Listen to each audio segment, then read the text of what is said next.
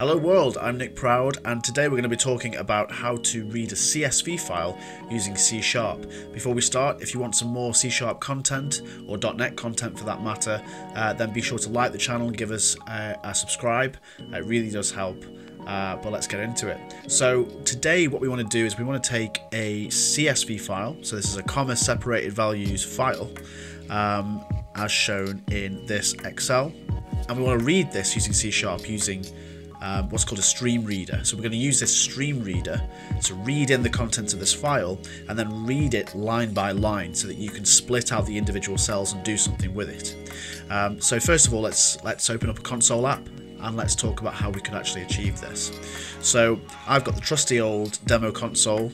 Uh, and this is a, a, console application. If you're not familiar with console apps, then uh, do a little bit of Googling, have a look around on YouTube. They're very, very simple to use essentially just a, uh, a straightforward program that executes start to finish um, and we're going to use that to read our CSV file. So the first thing I've done in our entry point is I've first specified where my CSV is. So I've just created a string that says that this CSV is at this path. And now I'm good to create my stream reader and use that to read this file into a stream. So First thing I'm going to do is use a using statement. Uh, so we've talked about these a little bit before, um, but I'm going to use this here and call it reader. So creating a variable called reader. And you can see Visual Studio in the IntelliSense has created a suggestion to create a new stream reader probably because it's seen the term CSV in that previous variable. If that's true, then that's that's really clever. But essentially, this is what we're doing. We're creating a new instance of StreamReader, and the parameter that it, that it accepts is a path, which is going to be this CSV path. The using statement uh, allows us to take advantage of iDisposable, which means that when we create the stream reader, uh, it will be automatically disposed of when the execution leaves this curly bracket here. Um, so it means we don't have to manually say streamreader.close or anything like that. We can just confidently create an instance of it. It will be used for just this scope and then disposed of. So we're, we're, we're nice and compliant in that sense. That good practice to use using wherever possible. So then how do we use this to actually read the stream? So what will happen is the reader will um, go to the CSV file, it will stream it into uh, this reader, and this reader allows us to say, do I have a line of uh, data, or am I at the end of the stream? Sorry, so I can say, um, you know, while I'm not at the end of the stream, give me a line of data. Uh, and the reason we can do this is because CSV file, because of the way that CSV files are formatted, they explicitly uh, state in the text when a line has finished and when a new line is beginning. And that's brilliant because we can use that delimiter character to say, I'm on a new line, therefore I've got a new row of data that I'm going to pass out. So let's start our statement with a while. So I'm going to say while uh, reader dot end of stream, and that, that needs to be false. So we're saying while we're not at the end of the stream, then we're going to get the data, we're going to get a line from the stream and then move on um, to the next line. So I'm going to say var content equals reader dot read line. So this will read uh, an available line if there is one and it will put the content into this variable. And so this will allow us to pull through a specific line or the next line in the CSV, and then we can do something with that.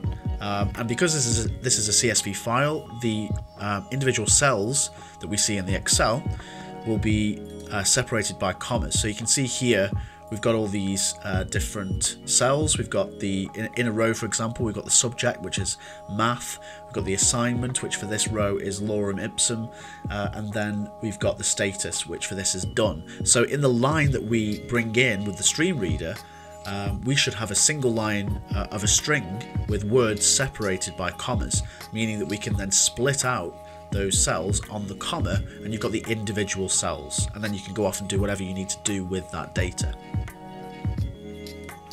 So let's just test this out then. Let's have a look and see uh, what we've got. So I'm going to put a breakpoint on this while. and I'm going to kick this console application off. So we're inside, oh, straight away, failed. so one uh, pro tip is if you are trying to read a file, then you should close it. So I've just closed that file because it's been currently used by a different process. This process, which is the console app, isn't able to read the stream because it's been locked. Uh, so now I've closed that file, we should be able to read it. So I've created a new reader uh, at that CSV path and if we just hover over that you can see uh, that we've got a stream inside there and that we're not currently at the end of the stream uh, because the reader is still at the very beginning of that stream. So let's step over this bit then. So obviously we're not at the end of the stream and we're going to set content to reader.readline and we'll have a look over content and you can see there's not really much we can use here. So this is clearly uh, an empty row. Um, so we can just ignore it. If you had some logic which was parsing this, um, then you would obviously skip this row. So let's keep going through until we start to find something useful. So you can see here in my content watch, uh, there's still nothing in that variable. And here we go. So we've actually got something in here now. So we've got the text assignment tracker with all this text here. So this is going to be the first row with text. And again, if you were passing this CSV, you would probably ignore this data. Keep going through. And what we've got here is what looks like another empty line. We've gone past the headers. And there we go. I recognize this line. So here we've got the first line of data. So we've got that um, math, the lorem ipsum, and you can see they're all separated by these commas. So now we can actually get this data, uh, get these individual cells out and do something with them.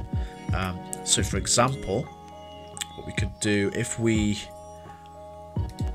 stop that, we could say um, var cells equals content dot split and we want to split it on a comma character and I'm going to put that into a list because I, I love lists. So there we go. There's a list of string, which will be the cells that have been pulled out of each individual row. And I'm going to say if cells.count is greater than zero, so that means if we've got data, because if it's a blank row, it will just be a bunch of commas. Uh, and if you were going to split a row on commas, then I guess you would get nothing in the list. So it should be zero but we're obviously going to we're going to um, test that greater than zero. Okay, so let's run that again. So here we've got the line read from the top of the CSV. I'm going to split it, and as you can see, actually it has populated with blank strings. Um, so this is actually not the best check for data. Um, so another thing you could do is we could get a little bit fancy and we could create a bespoke function for checking that the data that has been pulled from the, uh, the row is not blank. So we could say, let's create a new static uh, bool, so we're going to return a true or false, um, and we're going to say row has data. And you could pass in um, string row content. So what you could do um, is you could say, I'm going to do that. In fact, actually, let's pass in a, a list of string because we've already, at this point, we want to have already pulled, split the cells on the comma. Um, so I'll change that to a list of string and it's uh, cells. So you pass the cells in and it will say whether it's got data or not. So we can use LINQ for this, I think. So we could say um, return cells dot any and then we can use a lambda function to say any of those cells um, where x dot length is greater than zero. You could also do x um, is not equal um, an empty string if you wanted to. Um, but this is pretty much the same thing. So we're using LINQ here, saying uh, return the result of this condition if any of those conditions are true. So passing in X, which is the current cell that we're looking at when we're iterating through, um, and where the length is greater than zero. Because if it is, it's got content and therefore this row has data. So we could scrap this bit and say instead if row has data cells then we can do something with that content. We only really want to do something with it if it's got data. If it's a blank cell, it doesn't really matter.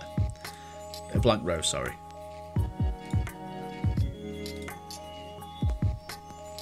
There we go. So it's got seven entries, but it's empty, which is kind of useless to us.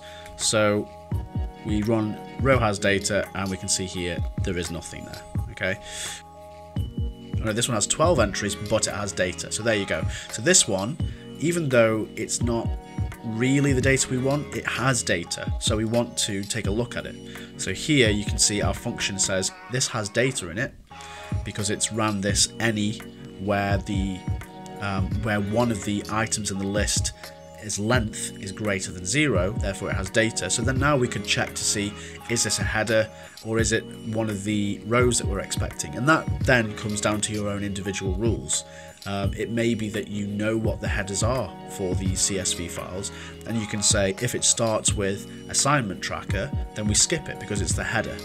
Uh, and you keep doing this until you actually get to a row that you know is actually a legitimate row, and then you can start splitting that row up uh, on again on commas so that you can get the individual cell values. So I hope this was useful. It was a very basic example, uh, and for the most part, this was just about getting the CSV file into a stream so that you can then start parsing out the rows, um, and then obviously going further than that, trying to figure out how to um, read the data in a logical way, how to identify whether the data is part of a table that you actually want, that's a bit more down to your individual business rules or your logic. Thank you so much for watching. Um, I hope this was useful. Uh, don't forget to like and subscribe, it really does help the channel. And check out the channel soon for some more C Sharp and .NET tips. Thanks.